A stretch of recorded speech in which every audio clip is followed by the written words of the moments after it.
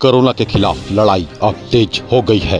अभी तक झारखंड में कोरोना से संबंधित मरीज़ की पहचान नहीं हुई थी, लेकिन जैसे ही रांची में कोरोना से संक्रमित मरीज़ की पहचान हुई, उसके बाद अचानक धनबाद जिला प्रशासन भी रेस दिख रही है और मदद के लिए भी लोग काफ़ी संख्या में बढ़ चढ़कर आगे आ रहे हैं। वहीं आज ज़िले के कांग्रेस नेता सह कांग्रेस प्रदेश सचिव विजय सिंह ने भी अपना मदद देते हुए आज मुख्यमंत्री राहत कोष में एक लाख ग्यारह हज़ार रुपये दिए और उन्होंने धनबाद उपायुक्त को सौंपा। आपको बता दें, उन्होंने कहा कि कुलवरी क्षेत्रों में संगठित मजदूरों को खाने पीने की परेशानी हो रही है, जिसके लिए उन्होंने धनबाद उपायुक्त से उन इलाकों में मुख्यमंत्री दाल भात योजना केंद्र खोलने की बात कही। निश्चित तौर पर जो अभी कोरोना वायरस का जो मामला पूरे विश्व में चल रहा है, बड़ा चिंता का विषय है। और निश्चित तौर पर हर एक लोगों को अपने तरीके से राज्य सरकार को और देश में जो अभी इतना बड़ा जो आपदा का ये चल रहा है, उसमें सहयोग करना चाहिए। और उसको देखते हुए हमने भी मुख्यमंत्री राहत कोष में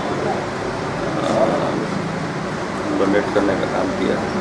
और डीसी साहब से ये भी मांग किया कि अभी जो दाल भात योजना जो चल रहा है तो कुछ जगहों पे ही चालू हुआ है। तो हमने मांग किया है कि जो असंगठित क्षेत्र में जो मजदूर डेली जो कोयला लाने का काम करते थे तो गाड़ी बंद हो गई है तो उन लोगों के लिए भी भुगतान के कगार पर आ गया है।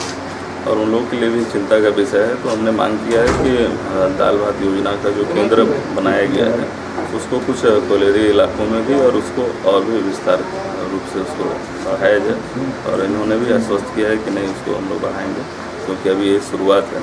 और दूसरा, हमने आइसोलेशन वार्ड जो अभी जिस तरीके से अभी बढ़ रहा है, ये संक्रमण जो तो आइसोलेशन वार्ड भी हमने बनाने का सुझाव डीसी साहब को दिया है कि बीसीसीएल की जो भी बंद पड़ी हॉस्पिटल्स हैं, जो कि सुचारू रूप से चल रही उसकी सफ़ा, साफ़ सफ़ाई करवा करके आइसोलेशन वार्ड के लिए तैयार किया जाए। जो- कि अभी देख रहे होंगे आप लोग कि केंद्र सरकार के द्वारा रेलवेज की पॉलिस में बनाए जा रहे हैं, क्योंकि जगह की कमी होने वाली है जिस प्रकार जिस तरीके से बढ़ रही है।